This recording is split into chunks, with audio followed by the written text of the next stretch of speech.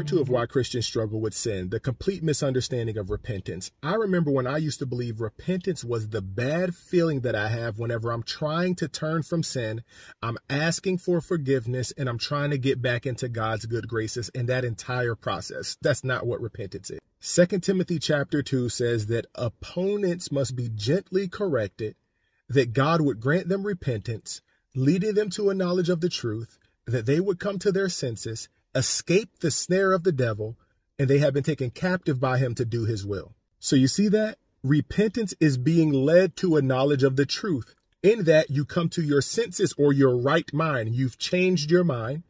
In that you've escaped the devil's snare because that lie is what held you captive to do his will. And many Christians are attempting to externally change while still internally believing the devil's lies. It's a contradiction. A lot of people say that us believers are always saying that Jesus is coming back.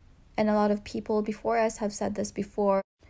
And it's taking so called way too long, and it's because he doesn't want you to perish. Peter chapter 3, verse 9, it says that the Lord is not slow to fulfill his promise, as some count slowness, but is patient toward you, not wishing that any should perish, but that all could reach repentance.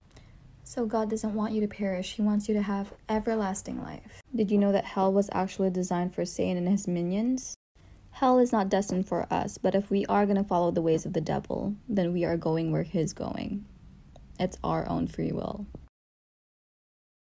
Okay, I'm not sure who needs to hear this, but sis, stop scrolling, stop seeking, stop searching, and stop stalking.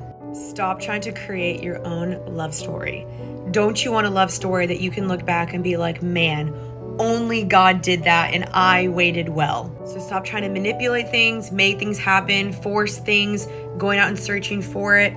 Take a step back, go live your life, be confident in who you are, and trust God with your love story. He knows you want it, and He's gonna give it to you when He thinks it's the perfect time because He knows you better and your story better than you do. I know this is hard to do, but oftentimes when we put the story into our own hands, it doesn't go as planned. If I choose to or choose not to carry a baby, what does that have to do? Where where do you Listen, guys, obviously I'm Christian. You know where I stand with this. I am pro life. I'm not here to argue about that. I'm not. But I want to address something from that video. She calls it carrying or not carrying the baby. And let's face it, that is a very sugar coated way of saying murdering the baby. Our society has done a really great job in making abortion sound like less than what it is by calling it women's rights and injecting it into the women's empowerment movement.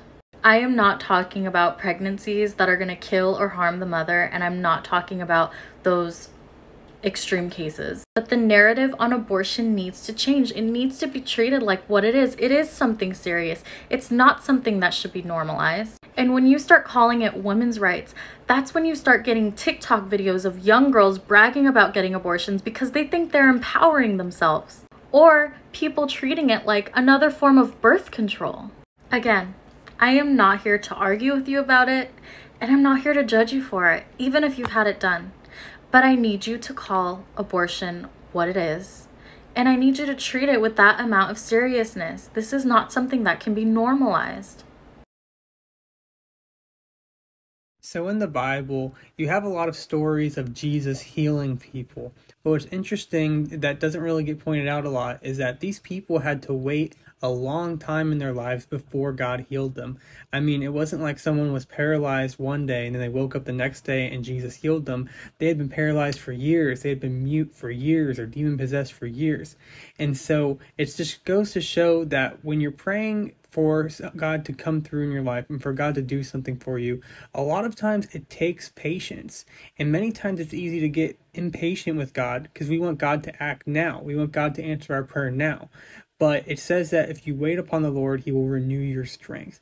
And it also says that the bad things that happen in our lives, God uses to develop uh, character and to develop patience. So just keep being patient and waiting on God and trusting in Him, and He will do what His will is. But He wants you to surrender to Him and rely on Him for strength and not find it within anything else.